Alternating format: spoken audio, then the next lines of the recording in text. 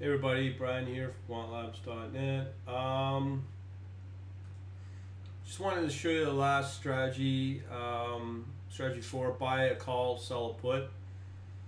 What we're trying to do is basically establish a maximum ceiling price, purchase price, and a minimum price uh, for um, a range of, uh, in this case, it would be uh, the difference between the uh, the premium of the call and the put. Is it no? Sorry, the call. Yeah, sorry, the call strike and the put strike. So that's the price range. So as here, we have a, a table of various uh, futures with the actual basis, cash price, plus or minus. Now we're longing 650 or shorting 630, which is the um, chosen uh, put strike and call strike. Now, uh, it gets further deeper into here where we have this long 650 call gain or loss. This is calculated here where it's the futures price minus the call strike price minus the call premium paid. Otherwise, the maximum loss in the premium paid.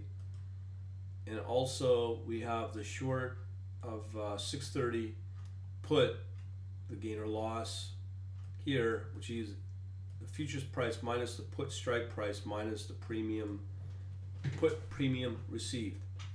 And then, of course, here uh, we're well within the range of uh, our floor or ceiling. So I'll just show you how to calculate this in C++, simple stuff, and go from there.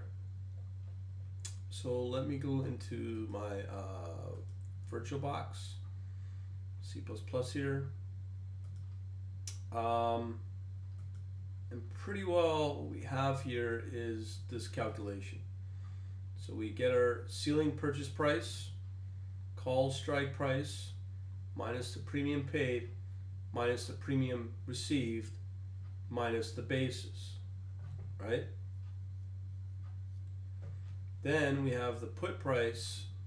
I think we have an error here. Put strike price, put strike minus the call premium minus the put premium received.